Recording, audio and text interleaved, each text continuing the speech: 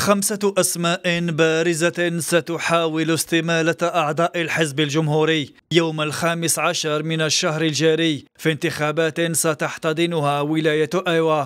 يتقدمهم المثير للجدل في حضوره وغيابه الرئيس السابق للولايات المتحدة الأمريكية دونالد ترامب.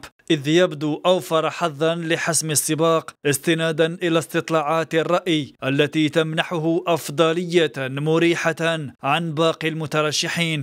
والحديث هنا عن الحاكمة السابقة لولاية كارولينا الجنوبية ذات الأصول الأسيوية نيكي هالي وحاكم ولاية فلوريدا رون دي سانتيس حيث حل في آخر استطلاع للرأي في الصف الثاني تساويا خلف دونالد ترامب.